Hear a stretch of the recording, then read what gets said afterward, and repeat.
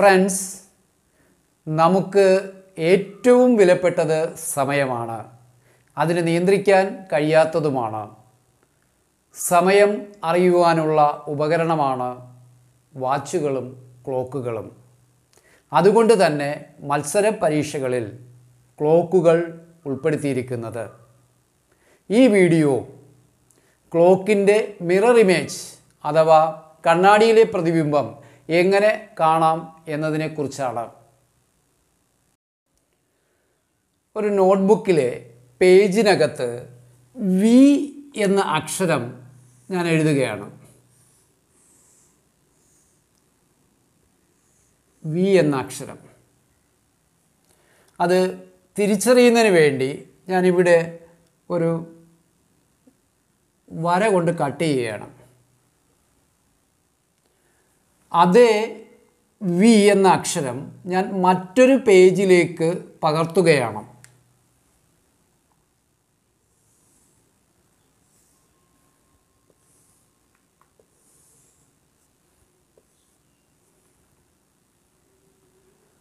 അപ്പോൾ അത് just page പകർത്തുക എന്ന് വെച്ചാൽ ഈ പേജ് ഇങ്ങനെ ജസ്റ്റ് ഇങ്ങനെ മറിക്കുകയാണ്.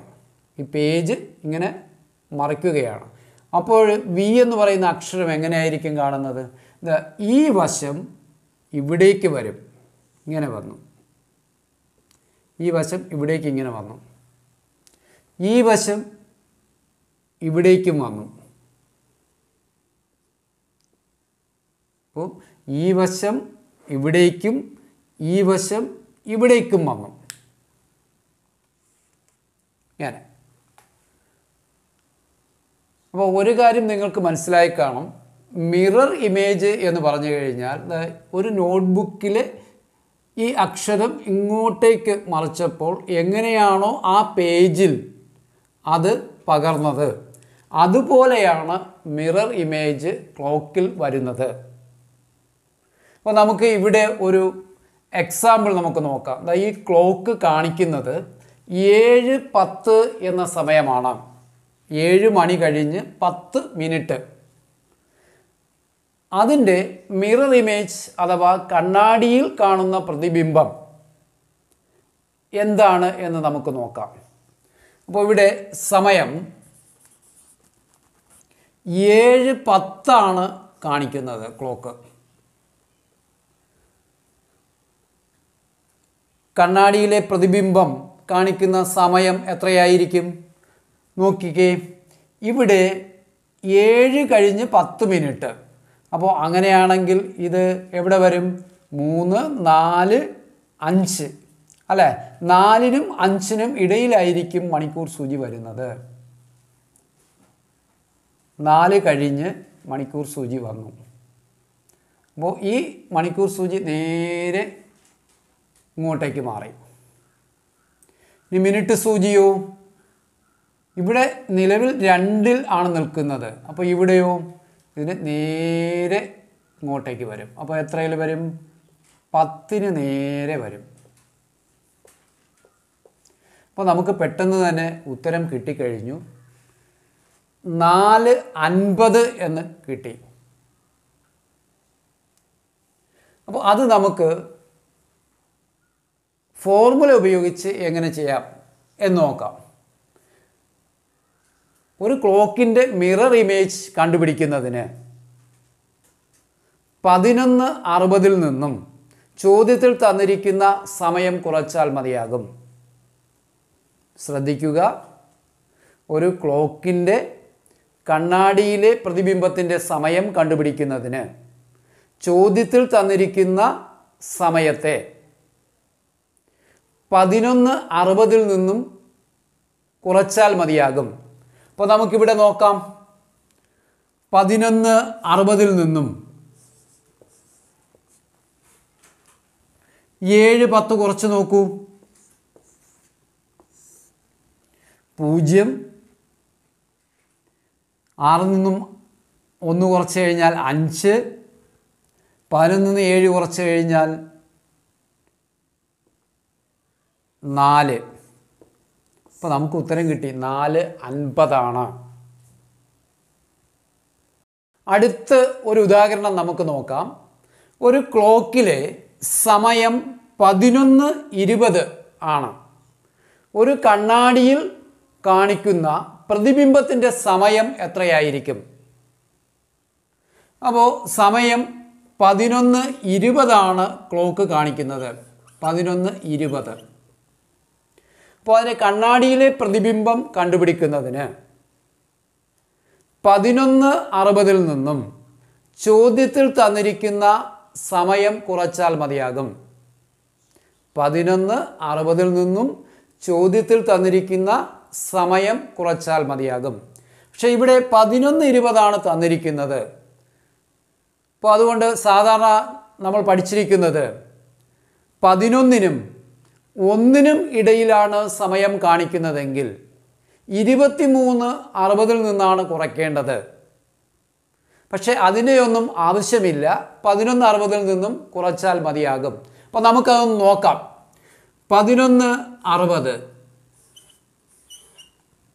തന്നിരിക്കുന്ന സമയം പതിനൊന്ന് ഇരുപത്. ഒന്ന് കുറച്ച് നോക്കിക്കേ. അറുപതിൽ നിന്നും ഇരുപത് കുറച്ചാൽ നാൽപ്പത്. പതിനൊന്നിൽ നിന്നും പതിനൊന്ന് കുറച്ചാൽ പൂജ്യം. അപ്പോൾ നമുക്കിവിടെ പൂജ്യം പൂജ്യം നാൽപ്പത് എന്ന് കിട്ടി. സാധാരണ സമയത്തെ സംബന്ധിച്ചിടത്തോളം പൂജ്യം പൂജ്യം എന്നത് പന്ത്രണ്ട് ആണ്. അപ്പോൾ ഇവിടെ പൂജ്യം പൂജ്യം എന്നത് പന്ത്രണ്ടാണ്. അപ്പോൾ എന്താ എത്രയായി സമയം? പന്ത്രണ്ട് നാൽപ്പതായി. അപ്പോൾ നമുക്കിവിടെ ഉത്തരം കിട്ടി. പന്ത്രണ്ട് നാൽപ്പത്.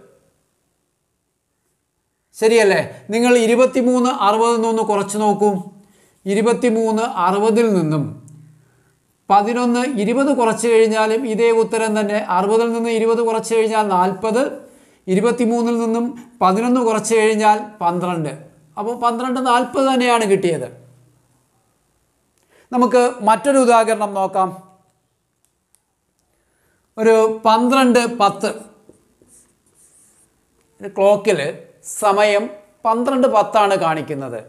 എങ്കിൽ ഒരു കണ്ണാടിയിൽ കാണുന്ന പ്രതിബിംബത്തിന്റെ സമയം എത്രയാണ്? പന്ത്രണ്ട് പത്ത് കാണിക്കുന്ന ഒരു ക്ലോക്കിന്റെ മിറർ ഇമേജ് എത്രയാണ്? നമുക്ക് നോക്കാം. ഇപ്പോൾ നേരത്തെ പറഞ്ഞതുപോലെ തന്നെ പതിനൊന്ന് അറുപതിൽ നിന്നും ആ പന്ത്രണ്ട് പത്താണ് കുറയ്ക്കേണ്ടത്. അപ്പോൾ പന്ത്രണ്ട് എന്ന് പറഞ്ഞു കഴിഞ്ഞാൽ അവിടെ പന്ത്രണ്ടിന് പകരം എന്തെഴുതിയാൽ മതിയാകും? പൂജ്യം എഴുതിയാൽ മതിയാകും. പന്ത്രണ്ടിന് പകരം പൂജ്യം എഴുതിയാൽ മതിയാകും. അപ്പോൾ ഞാനിവിടെ പന്ത്രണ്ടിന് പകരം ഇതിനെ പൂജ്യം പൂജ്യം പൂജ്യം പത്ത് എന്നെഴുതി. പൂജ്യം പൂജ്യം പത്ത് എന്ന് പറഞ്ഞു കഴിഞ്ഞാൽ പന്ത്രണ്ട് പത്ത് എന്ന് തന്നെയാണ്. അപ്പോൾ അറുപതിൽ നിന്നും പത്ത് കുറച്ച് കഴിഞ്ഞാൽ അൻപതാണ്. ഇവിടെ പതിനൊന്ന്. വളരെ പെട്ടെന്ന് തന്നെ നമുക്ക് ആൻസർ കിട്ടി പതിനൊന്ന് അൻപത് എന്ന്. നിങ്ങൾ ഇരുപത്തിമൂന്ന് അറുപതിൽ നിന്നും പന്ത്രണ്ട് പത്ത് കുറച്ച് കഴിഞ്ഞാലും പതിനൊന്ന് അൻപത് തന്നെ കിട്ടും. അപ്പോൾ ഇതിന്റെ അർത്ഥം നമുക്ക് മിറർ ഇമേജ് കണ്ടുപിടിക്കുന്നതിന് പതിനൊന്ന് അറുപതിൽ നിന്നും ചോദ്യത്തിൽ തന്നിരിക്കുന്ന സമയം കുറച്ചാൽ മതിയാകും. ശ്രദ്ധിക്കേണ്ട ഒരേ ഒരു കാര്യം പന്ത്രണ്ട് വരുമ്പോൾ അവിടെ പൂജ്യമാക്കുക. പൂജ്യം പൂജ്യം വരുമ്പോൾ വീണ്ടും പന്ത്രണ്ടിലേക്ക് കൺവേർട്ട് ചെയ്യുക. ഇത്ര മാത്രമാണ് ശ്രദ്ധിക്കേണ്ടത്.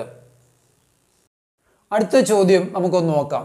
എൽ ഡി സി രണ്ടായിരത്തി പതിനൊന്ന് കണ്ണൂരിൽ ചോദിച്ച ഒരു ചോദ്യമാണ്. ക്ലോക്കിലെ സമയം പതിനൊന്ന് നാൽപ്പത് ആണ്. കണ്ണാടിയിലെ പ്രതിബിംബം കാണിക്കുന്ന സമയം എത്ര?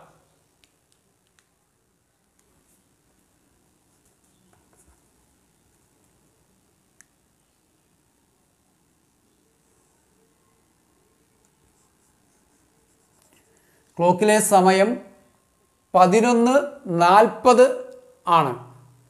കണ്ണാടിയിലെ പ്രതിബിംബം കാണിക്കുന്ന സമയം എത്രയെന്നാണ്. വളരെ എളുപ്പമാണ്. നമുക്ക് എന്ത് ചെയ്താൽ മതി? പതിനൊന്ന് അറുപതിൽ നിന്നും തന്നിരിക്കുന്ന സമയമായ പതിനൊന്ന് നാൽപ്പത് കുറച്ചാൽ മതിയാകും. അറുപതിൽ നിന്നും നാൽപ്പത് കുറച്ച് കഴിഞ്ഞാൽ ഇരുപതാണ്. പതിനൊന്നിൽ നിന്നും പതിനൊന്ന് കുറച്ച് കഴിഞ്ഞാൽ പൂജ്യം പൂജ്യമാണ്. നമുക്കപ്പോൾ അറിയാം പൂജ്യം പൂജ്യം എന്ന് പറഞ്ഞു കഴിഞ്ഞാൽ പന്ത്രണ്ടാണ്. അപ്പോൾ പന്ത്രണ്ട് ഇരുപതാണ് ആൻസർ. നമുക്ക് അടുത്ത ചോദ്യം ഒന്ന് ശ്രദ്ധിക്കാം. ക്ലോക്കിലെ സമയം നാല് മണി അൻപത് മിനിറ്റ് നാൽപ്പത് സെക്കൻഡ് ആണ്. ഒരു കണ്ണാടിയിലെ പ്രതിബിംബം കാണിക്കുന്ന സമയം എത്രയാണ്? ചോദ്യം ഒരിക്കൽ കൂടെ നോക്കാം. ഒരു ക്ലോക്കിലെ സമയം നാല് മണി അൻപത് മിനിറ്റ് നാൽപ്പത് സെക്കൻഡ് ആയാൽ കണ്ണാടിയിലെ പ്രതിബിംബം കാണിക്കുന്ന സമയം എത്ര എന്നാണ്. അപ്പോൾ ഇവിടെ സെക്കൻഡ് കൂടി വന്നിട്ടുണ്ട്. നമ്മൾ നേരത്തെയൊക്കെ ചെയ്തത് മണിക്കൂറും മിനിറ്റും മാത്രമേ ഉണ്ടായിരുന്നുള്ളൂ. ഇവിടെ സെക്കൻഡ് കൂടി വന്നിട്ടുണ്ട്. അപ്പോൾ നമുക്കത് എങ്ങനെ ചെയ്യാം എന്ന് നോക്കാം. അപ്പോൾ ഇവിടെ സമയം കാണിക്കുന്നത് നാല് മണി അൻപത് മിനിറ്റ് നാൽപ്പത് സെക്കൻഡ് എന്നാണ്. അപ്പോൾ ഇത് മണിക്കൂറാണ്. നാല് എന്നത് മണിക്കൂർ ഇത് മിനിറ്റ് ഇത് സെക്കൻഡ്. ഇപ്പോൾ ഇവിടെയും വ്യത്യാസമൊന്നുമില്ല. പതിനൊന്ന് അറുപതിൽ നിന്നും ചോദ്യത്തിൽ തന്നിരിക്കുന്ന സമയം കുറച്ച് കഴിഞ്ഞാൽ നമുക്ക് മിറർ ഇമേജ് കിട്ടും. അപ്പോൾ നമുക്ക് പതിനൊന്ന് അറുപത് എഴുതാം. പക്ഷേ പതിനൊന്ന് അറുപതിന് ഒരു ചെറിയ വ്യത്യാസം വരുത്തേണ്ടി വരും. എന്താണ്? അറുപത് മിനിറ്റിൽ ഉള്ള ഒരു മിനിറ്റ് ഇങ്ങോട്ടേക്കൊന്ന് ഷിഫ്റ്റ് ചെയ്ത് സെക്കൻഡ് ആക്കണം. അറുപത് മിനിറ്റിലുള്ള ഒരു മിനിറ്റ് സെക്കൻഡിലേക്ക് മാറ്റണം.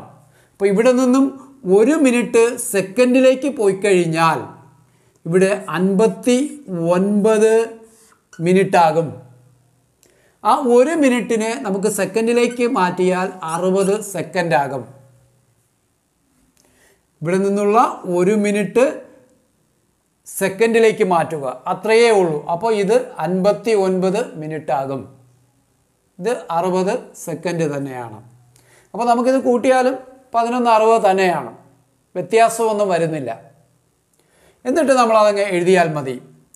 നാല് അൻപത് നാൽപ്പത്. കുറയ്ക്കുക. അറുപതിൽ നിന്ന് നാൽപ്പത് കുറച്ച് കഴിഞ്ഞാൽ ഇരുപത്. അൻപത്തി ഒൻപതിൽ നിന്നും അൻപത് കുറച്ച് കഴിഞ്ഞാൽ ഒൻപത്. പതിനൊന്നിൽ നിന്നും നാല് കുറച്ച് കഴിഞ്ഞാൽ ഏഴ്. അപ്പോൾ നമുക്ക് ഉത്തരം കിട്ടി. ഏഴ് മണി ഒൻപത് മിനിറ്റ് ഇരുപത് സെക്കൻഡ് എന്ന് കിട്ടി. അപ്പോൾ സെക്കൻഡിലെ ചോദ്യങ്ങൾ വരുമ്പോൾ വളരെ ശ്രദ്ധിക്കേണ്ടത് നമ്മുടെ ഇവിടെയുള്ള മിനിറ്റിൽ നിന്നും ഒരു മിനിറ്റ് അങ്ങോട്ടേക്ക് ഷിഫ്റ്റ് ചെയ്താൽ മതിയാകും. അതാണ് ശ്രദ്ധിക്കേണ്ടത്.